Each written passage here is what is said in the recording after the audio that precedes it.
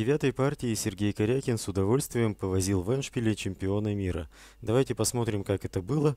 Была разыграна испанская партия, и после ходов b5, слон b3, слон c5, а4, черные сыграли ладья b8. Почему они сыграли именно так, а не слон b7? Э, слон b7 вел, этот ход вел к уравнению АБ, АБ, ладья бьет на а8, Ферзь бьет на 8. У черных э, небольшая активность по линии А, но в принципе эта активность компенсируется э, действиями белых на королевском фланге и в центре. Давайте вернемся к седьмому ходу. А4 сыграли белые и ладья b8 сыграли черные. c3, d6, d4, слон b6, АБ, АБ и конь А3. Здесь черные играют 2 нуля, короткая рокировка. Почему именно так сыграл Карлсон? Для него очень важно вывести слона на поле g4, для того, чтобы хоть как-то снизить активность белых на королевском фланге. В этой позиции черные отдают пешку b5, но взамен получают хорошую игру на королевском фланге. Что было бы, если бы черные сыграли слон а6, защищая пешку b5? Тогда последовало бы слон g5, рокировка, de, конь бьет на e5, конь бьет на e5, de, ферзь f3 и игра белых намного лучше. Ферзь e7, конь c2, слон b7, конь e3, конь идет на f5, слон бьет на e3, иначе конь ушел бы на f5 и у белых была бы очень хорошая атакующая позиция. Поэтому черные здесь должны разменять слона на коня и Здесь позиция белых лучше. У них атака по линии F. Черным здесь защищаться сложнее. Давайте вернемся к 11 ходу.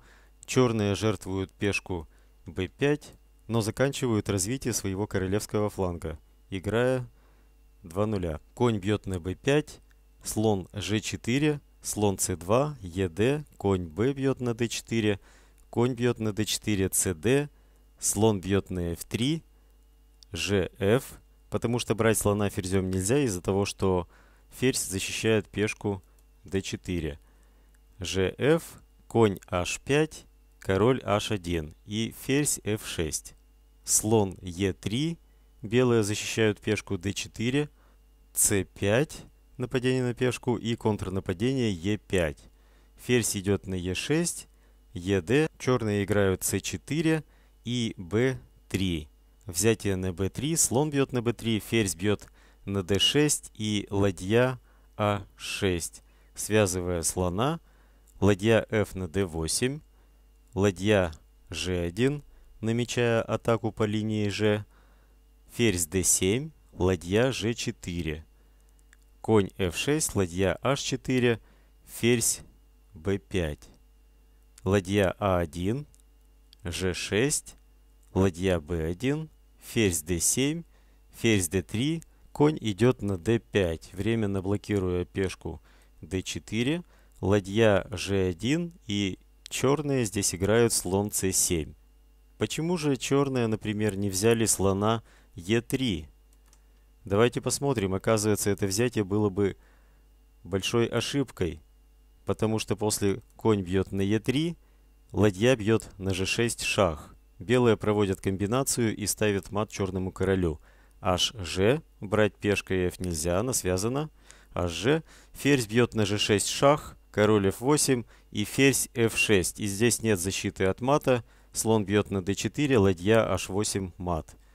Вот почему после ладья g1 нельзя брать слона на e3. Давайте вернемся к ходу ладья g1 и слон c7. Слон g5, ладья e8, ферзь c4. Белый оказывает давление на коня d5. Ладья b5, защищая коня. Ферзь c2. Ладья а8. Слон c4. Здесь белые активностью двух своих слонов э, снижают активность черных ладей на ферзевом фланге и заставляют черных разменять одну ладью на ладью противника, тем самым создавая для белых вполне благоприятную позицию. ладья Б на А5, слон D2, ладья А4, ферзь D3, ладья А1. Происходит размен, после чего конь идет на Е7. Здесь, может быть, немножко лучше было бы сыграть H5, освобождая поле H7 для короля, тогда белый слон уже не сможет попасть на поле H6. Ладья Е4 и король G7. Но чемпион мира сыграл по-другому. На 38-м ходу он пошел конь Е7 вместо H5. Конь Е7 и слон бьет на F7 шах. Король бьет на F7.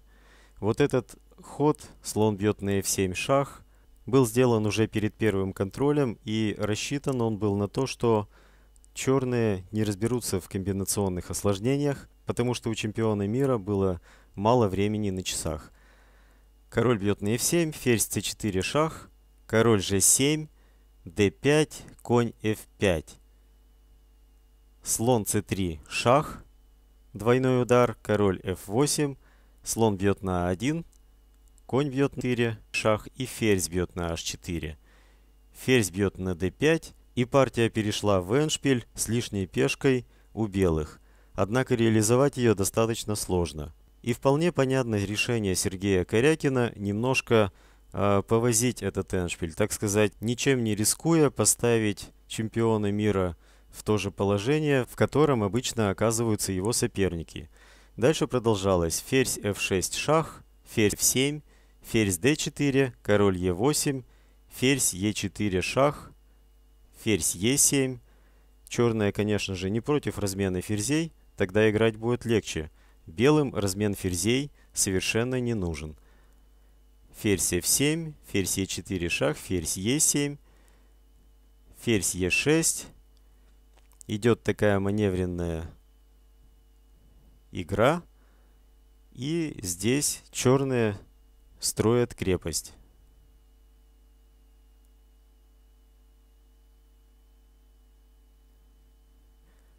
Ферзь а4 шах, ферзь c6, ферзь а7 шах, ферзь c7, ферзь а2, защищая пешку g6, слон e3, ферзь e6, ферзь а7 шах, король e8, слон c5.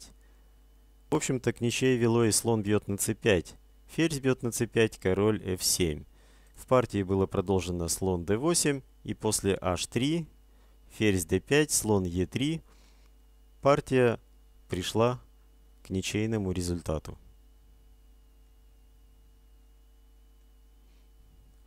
Вот так Сергей Корякин проверил чемпиона мира. На 74-м ходу они подписали бланки и, соответственно, согласились на ничью.